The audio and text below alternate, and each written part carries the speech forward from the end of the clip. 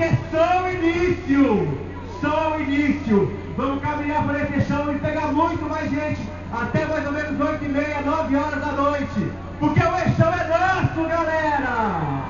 Eu sou Jandira, do coletivo de mulheres lésbicas e bissexuais do Distrito Federal. E a gente está aqui, a gente trabalha durante todo o ano aqui no Distrito Federal pela garantia dos nossos direitos. Direitos humanos, eles têm que ser respeitados e garantidos acima de tudo. Então eu queria falar algumas coisas. No ano passado, a Secretaria de Justiça, o GDF, é, prometeu para a gente a criação do Conselho LGBT que é um, um conselho para garantir controle social para os nossos direitos. E aí, gente, o ano passado foi prometido e até agora não foi criado, não foi realizado isso. Na sexta-feira a gente teve informação de que o secretário de Justiça, Dr. Raimundo Ribeiro, determinou a redação de uma minuta. Muita gente ficou feliz com isso, mas eu pergunto aqui o seguinte, é um cala-boca? É pra gente ficar calminho e não cobrar mais? A gente não quer ficar só esperando. Já tem um ano da promessa, agora só tem a minuta projeto de lei para criar. E Uma família com pai, mãe e filhos. Existe família com um gay adotando uma criança, uma lésbica adotando, uma travesti, uma transexual, um casal de homens, um casal de mulheres. Não importa o arranjo familiar, o que importa é o carinho. E aí, várias formas, várias famílias que nós temos aqui. Nessa diversidade, a gente quer falar das nossas mães também. Que possam falar, mães que não têm vergonha, simplesmente porque não somos heterossexuais.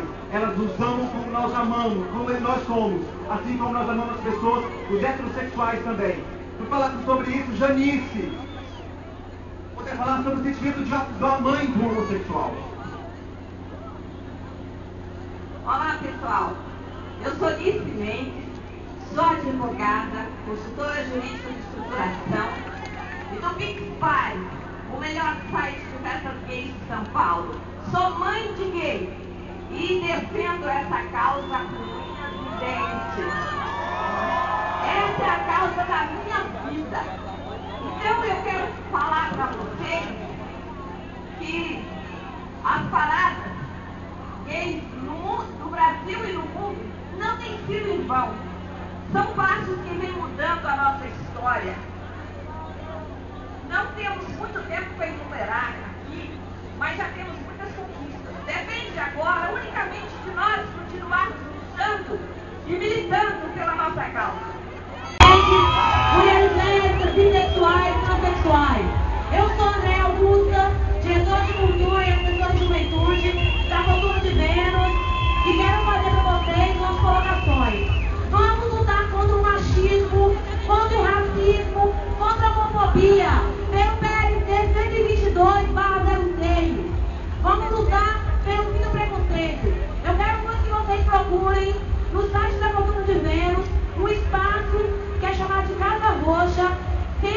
a LGBTs que sofrem violência por causa de sua orientação sexual ou de gênero. www.culturodevenus.org.br Acessem, lá tem a programação.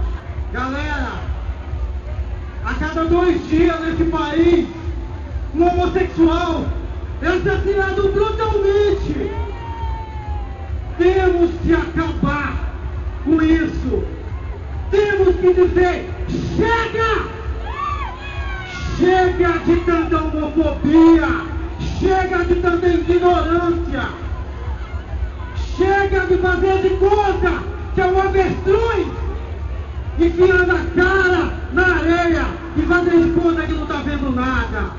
Todos vocês, para mais uma parada, mais uma mani- manifestação LGBT de Taguatinga, dia 17 de setembro, vamos lá mais uma vez, saindo lá na Comercial Norte, para mostrar que a cidade do Distrito Federal também tem a nossa diversidade sexual. Boa tarde a todas as mulheres transexuais, a todas as mulheres transexuais e gays.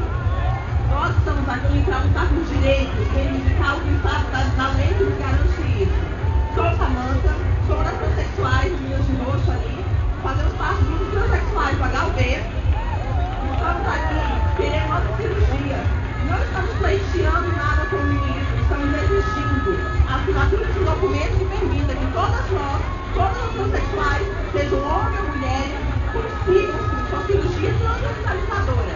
todas.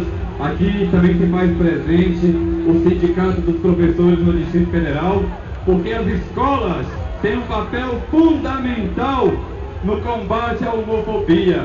A gente sabe que muitos estudantes deixam as escolas por puro preconceito, sejam de direções, sejam de professores ou até mesmo de colegas de sala de aula. Então, pensando nisso, o Simpro criou uma secretaria para assuntos de raça e sexualidade, para informar e ajudar os professores a trabalharem sobre isso. Direitos humanos e cidadania está comprometida com vocês. O secretário Raimundo Ribeiro já determinou que a gente faça uma luta e nós vamos discutir isso com vocês,